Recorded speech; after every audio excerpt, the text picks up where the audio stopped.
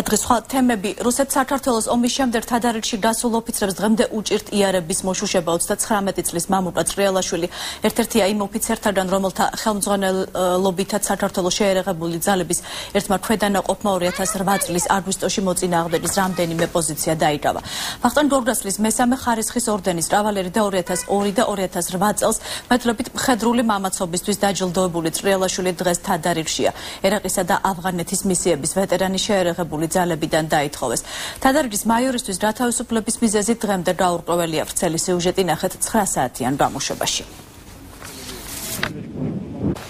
აი მადრიდიდან ჩამოდიოდა კოლონები რა, რუსის კოლონები და ჩვენ ვაძლევდით კოორდინატებს артиლერიას რომ გაენადგურებინათ.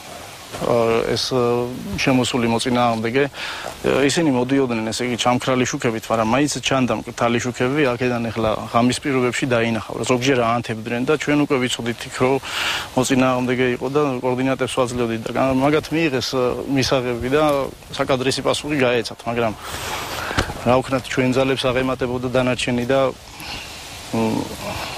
რაც იყო ბრძანება ჩვენს შესაბამისად მოვიქეცი